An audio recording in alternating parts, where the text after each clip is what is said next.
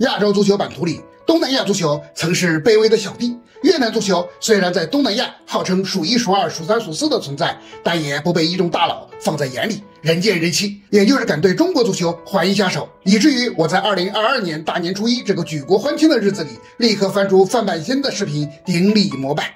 后来认真想想，范志毅的预测如此成功，应该是已经看到了越南足球的发展，圈内大佬的敏感度还是非同寻常的。那么越南足球究竟做了什么？是传说中的免费青训促进了腾飞吗？为什么最近又有消息说他们还为腾飞又拉了？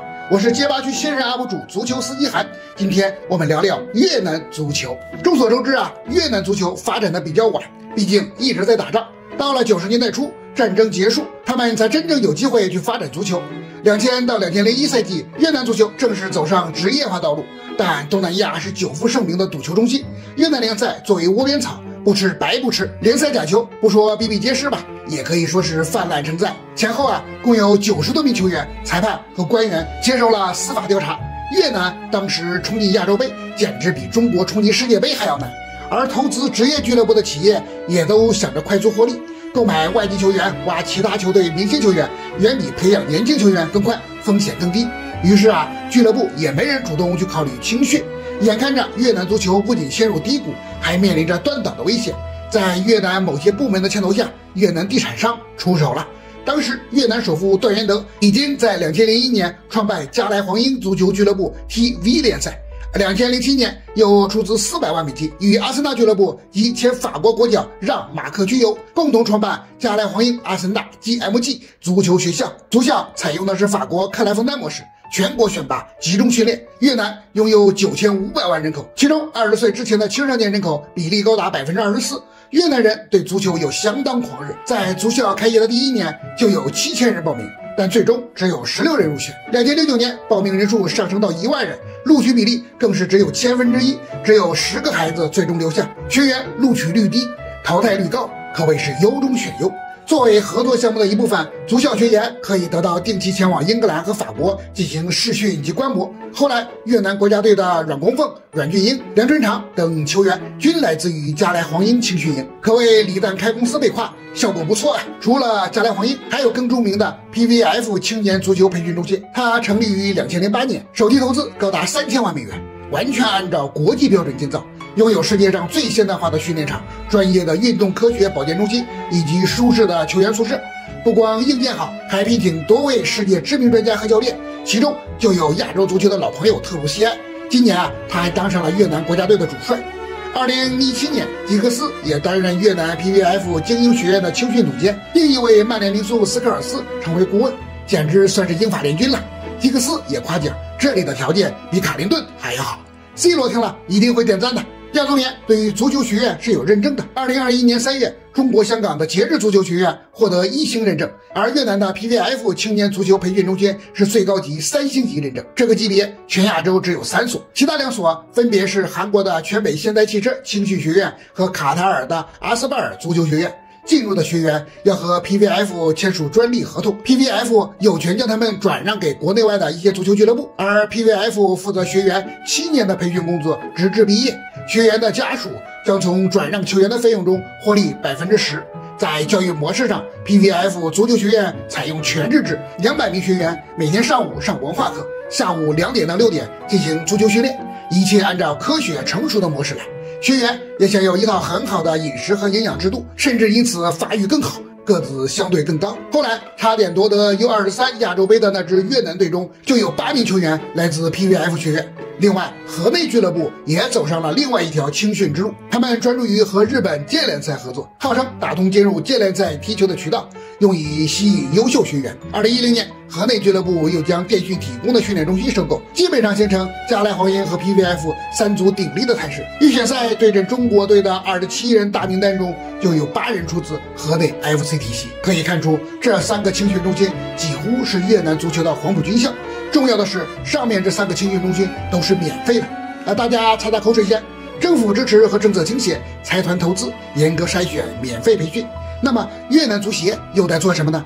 他们在与英法日韩等各大足球强国的频繁交流中，认识到一条关于足球的真相：竞技足球啊，其实是一项选拔机制，必须通过真正的比赛去磨练选拔其中的佼佼者。于是，他们在集中力量完善青少年联赛制度。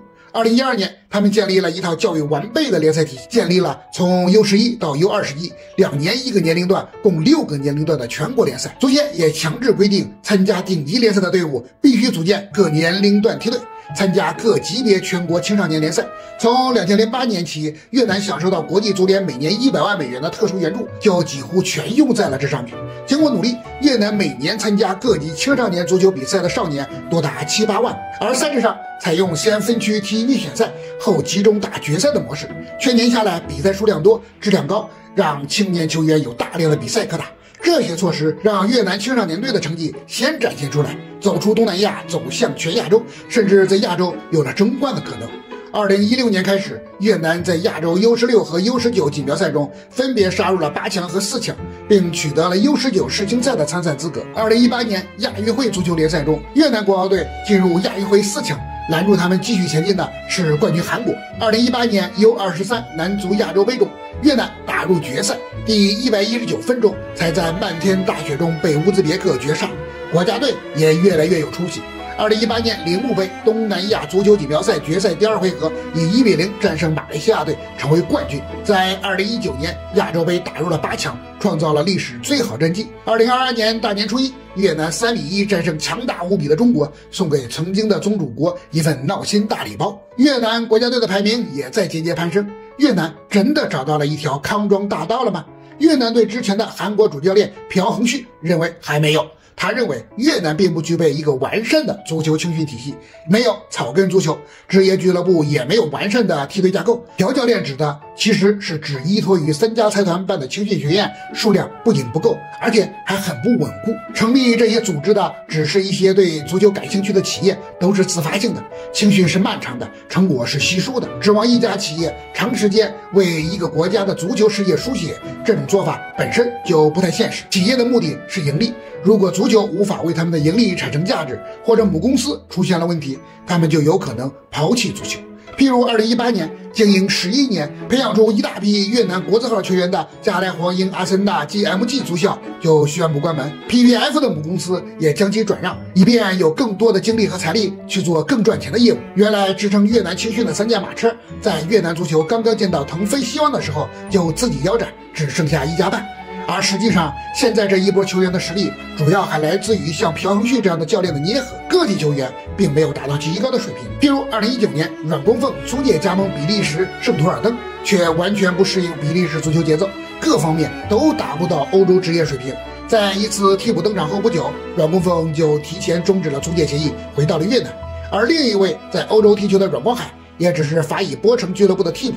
距离咱们大吴磊还是有不少差距的。中国队似乎要悄悄松一口气了，看来未来一段时间内，越南队的上限也就是中国队的下限了。但因为对手不进步就庆幸，是最摆烂的。而且，因为越南已经将足球定义为全面接受爱国主义教育、国家荣誉感和自豪感，在国际舞台上提升国家形象的一种有效工具和手段，足球在越南已经有着非同一般的地位。政府总理阮春福和分管足球的越南政府副总理伍德战都曾经高调庆祝越南足球的每一次进步。越南的足球氛围不仅浓厚，简直狂热。这让我相信，即使有财团因为经济问题撤出青训，越南也没有足够的经济水平支撑。全国性的公益情绪，但是通过与某些财团置换资源，不断吸引别的财团继续搞情绪，也是极有可能的事情。因为足球发展的最终道路就是普及，就是情绪。不论是用拐杖走，还是用自己的腿走，强化情绪，关注情绪，总会有或大或小的收获。这个方向是没有问题的。越南也已经尝到了甜头，一定会坚持走下去。果然。在加莱黄鹰青训营关门的同一年，意甲豪门尤文图斯在东南亚第一家青训学院就在越南胡志明市正式开业。我们又要把心提到嗓子眼了。这就是本次视频的全部了。如果您通过本期视频有一点收获，可以一键三连鼓励一下，也可以弹幕和评论区留下您的想法和想看的内容，我们随后一起聊。